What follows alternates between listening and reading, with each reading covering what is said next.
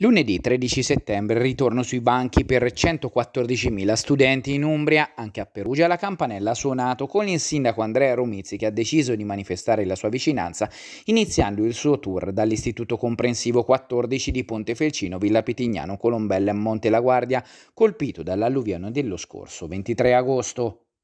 Ma eh, lì alcuni interventi, quelli diciamo, più urgenti, sono stati eh, già eh, ecco, realizzati subito dopo eh, quelle giornate complesse. Eh, su Ponte Felcino, dove abbiamo avuto dei danni ehm, consistenti e in,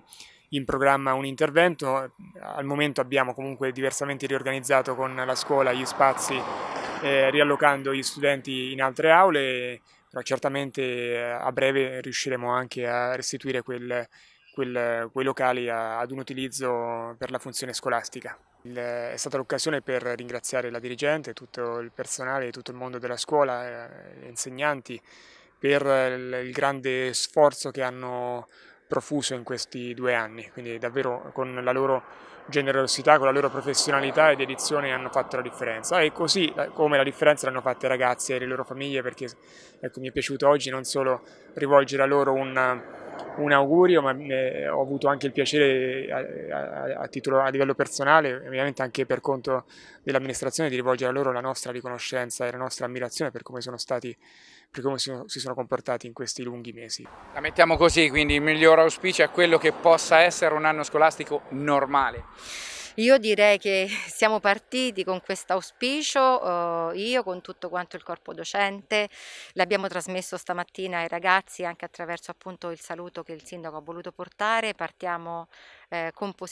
perché con positività eh, dobbiamo partire eh, pensando che siamo in un periodo di cambiamento grande, un cambiamento veramente, un viraggio eh, totale rispetto al passato. Per quanto riguarda il discorso della relazionalità, noi abbiamo aderito al piano scuola estate 2021 eh, lanciato dal Ministero eh, verso fine aprile e quindi quest'estate noi abbiamo eh, avuto l'opportunità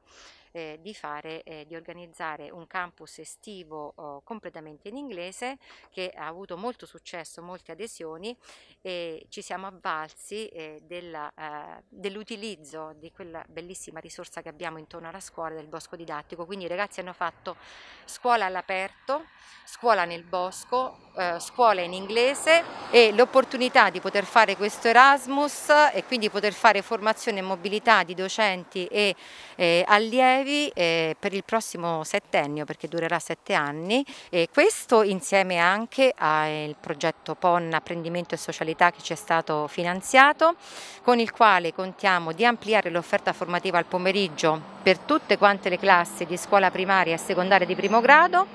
eh, offrendo attività di ampliamento, come dicevo, eh, su vari argomenti, su varie tematiche, su varie discipline, eh, come per esempio l'inglese, come per esempio la motoria, eh, la musica, il coro, il teatro.